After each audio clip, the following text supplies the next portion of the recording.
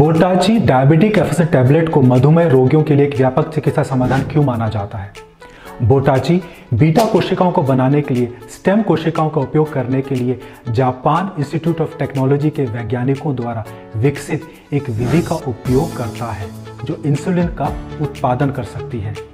इससे मदद मिलती है इंसुलिन प्रतिरोध को कम करने के लिए। अग्नाशय समारोह में सुधार।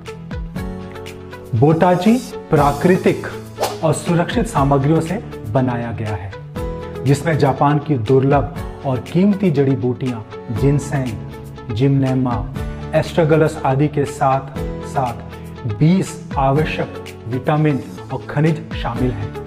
ये सामग्रियाँ इसमें मदद करती हैं। मधुमेह, डायबिटीज़, रोगियों के लिए आवश्यक पोषक तत्व प्रदान करें। रक्त शर्करा के स्तर को स्थिर और नियंत्रित करने में मदद करें।